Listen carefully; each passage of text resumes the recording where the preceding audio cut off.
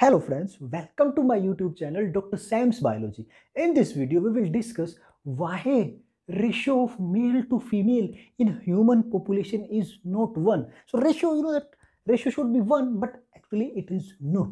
So in case of humans, we know there are two sexes, male and female. Male is heterogametic. That means it produces two type of gamete. 50% it will produce y gamete and 50% it will produce x gamete. So it is heterogametic but female is homogametic. All the gamete that are produced by female will have x chromosome. So this x chromosome the gamete that carries x chromosome and gamete that carries y chromosome they are equally viable and also they has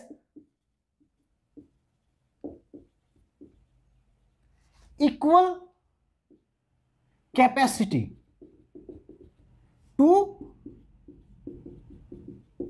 fertilize the egg. And both sexes male and female both the sexes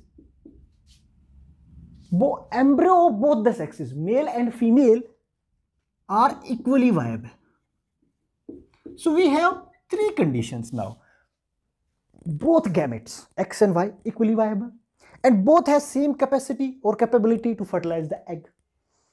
And male and female embryo during development are equally viable so all these conditions are the same. That means ratio should be 1 ratio 1.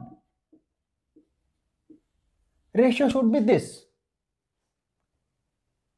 And how this ratio is determined? There may be a primary sex ratio or secondary sex ratio. In case of primary sex ratio, it is determined that how many male and female are conceived in a human population.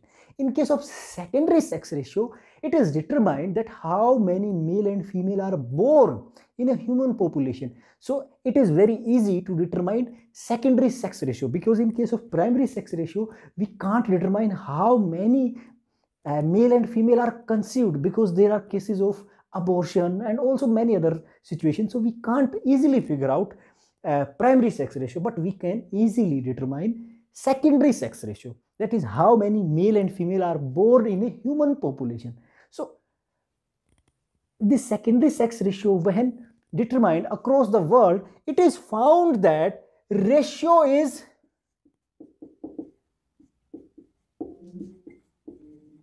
not 1 ratio 1 more male are found than female. Ratio of male are more than female. In second uh, secondary sex ratio determination it was found that ratio is more than 1 means more male are there in population. Why it is so? According to this situation it should be this but it is not. More male are found. So from this this determination we can conclude or we can draw two conclusions first is female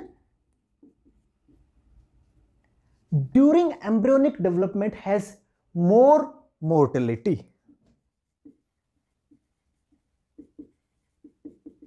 During embryonic development, the embryo that is female has more mortality rate than male. It is first conclusion. But after a study, it was found that mortality is more in males. Embryo that has sex male has more mortality than female. So this hypothesis is rejected.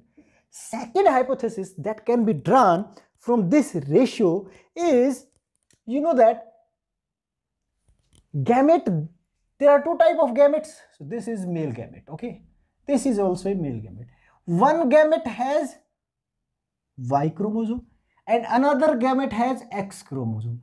And this X chromosome is larger in size than Y chromosome. So this Y chromosome has less mass. That means it has more, more uh, mobility. That, it, that means it is more motile.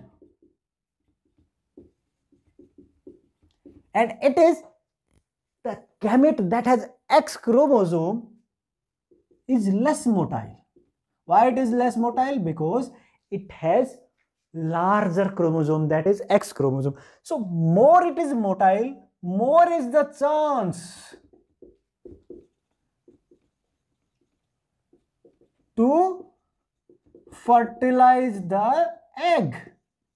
That's why ratio of male is more in, in comparison to female. Why it is so? Because Y chromosome is smaller than X chromosome. So it has less mass. If it has less mass, that means it is more motile. So more is the motility, more is the chance to reach to the egg and to fertilize egg. That's why. Though. So this might be the reason that why male are more than female in human population.